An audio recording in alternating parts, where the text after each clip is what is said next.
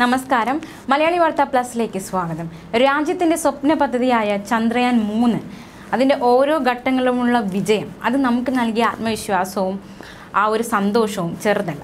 ഇപ്പോഴിതാ രാജ്യം മറ്റൊരു ചരിത്ര മുഹൂർത്തത്തിന് കൂടി സാക്ഷ്യം വഹിച്ചിരിക്കുകയാണ്. ചന്ദ്രയാൻ മൂന്നിന് പിന്നാലെ ഐ എസ് ആർഒയുടെ മറ്റൊരു വാണിജ്യ ദൗത്യം സിംഗപ്പൂരിലെ ഭൗമനിരീക്ഷണ ഉപഗ്രഹമായ ഡി എസ് ആറും ആറ് ചെറിയ ഉപഗ്രഹങ്ങളുമടക്കം ആകെ ഏഴ് ഉപകരണങ്ങൾ ഒറ്റയടിക്ക് വിക്ഷേപിച്ചിരിക്കുകയാണ്. ഇന്ത്യ മറ്റൊരു നേട്ടം കൂടി അങ്ങനെ കൈവരിച്ചിരിക്കുകയാണ്. ചന്ദ്രയാൻ മൂന്ന് വിക്ഷേപണത്തിന് പിന്നാലെയാണ് പുതിയ നേട്ടം കൂടി കൈവരിക്കാൻ സാധിച്ചിരിക്കുന്നത്. ഇന്ത്യൻ ബഹിരാകാശ ഗവേഷണ കേന്ദ്രത്തിന്റെ വാണിജ്യ ദൗത്യത്തിനോടനുബന്ധിച്ചാണ് P S L V C fifty six വിക്ഷേപിച്ചത്. ഇന്ന് രാവിലെ ആറ് മുപ്പതിന് ശ്രീഹരിക്കോട്ടയിലെ സതീഷ് ധവാൻ സ്പേസ് സെന്ററിൽ നിന്നായിരുന്നു വിക്ഷേപണം.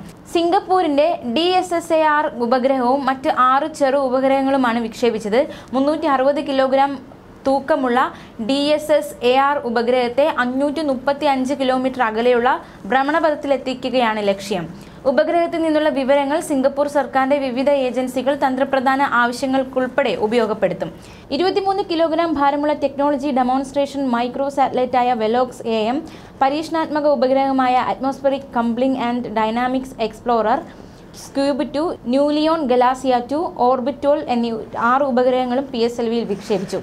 ഏപ്രിൽ പത്തൊമ്പതിന് പി എസ് എൽ വിയിൽ സിംഗപ്പൂരിന്റെ ടെലിയോസ് ടു ലൂമലൈറ്റ് ഫോർ എന്നീ രണ്ട് ഉപഗ്രഹങ്ങൾ ഇസ്രോ വിക്ഷേപിച്ചിരുന്നു.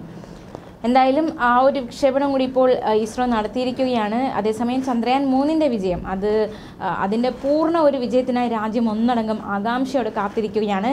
ചന്ദ്രയാൻ മൂന്ന് പേടകത്തിന്റെ യാത്രയിലെ നിർണായക ഘട്ടമായ ട്രാൻസ്ലൂണാർ ഇഞ്ചക്ഷൻ ഓഗസ്റ്റ് ഒന്നിന് നടക്കുകയാണ്. നിലവിൽ ഭൂമിയെ ഭ്രമണം ചെയ്യുന്ന പേടകം ചന്ദ്രന്റെ ആകർഷണ വലയത്തിലേക്ക് കടക്കുന്ന പ്രക്രിയയാണിത്. ഇതിനു മുന്നോടിയായി പേടകത്തിന്റെ ഭ്രമണപഥം അഞ്ചാം തവണ ഉയർത്തുന്ന നടപടി ഇന്ത്യൻ ബഹിരാകാശ ഗവേഷണ കേന്ദ്രം വിജയകരമായി പൂർത്തിയാക്കിയിരുന്നു.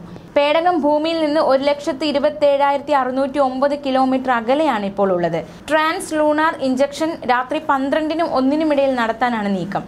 ചന്ദ്രന്റെ ഭ്രമണപഥത്തിലെത്തിയ ശേഷം അഞ്ച് ഘട്ടങ്ങളായി ഭ്രമണപഥം താഴ്ത്തൽ നടക്കും.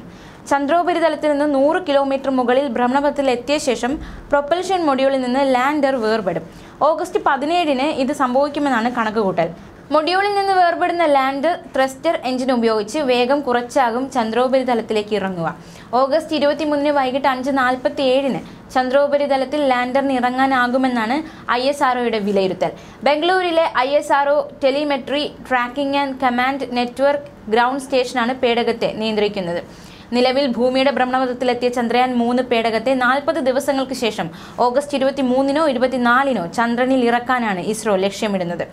ചന്ദ്രനിലെ സൂര്യോദയത്തെ ആശ്രയിച്ചായിരിക്കും ഇത്. ലാൻഡർ റോവർ പ്രൊപ്പൽഷൻ മൊഡ്യൂൾ എന്നീ മൂന്ന് ഘടകങ്ങളാണ് ചന്ദ്രയാൻ മൂന്നിലുള്ളത്. ഇതിൽ ലാൻഡറാണ് ചന്ദ്രനിൽ സോഫ്റ്റ് ലാൻഡിംഗ് നടത്തുക. ലാൻഡറിനകത്താണ് റോവറിന്റെ സ്ഥാനം.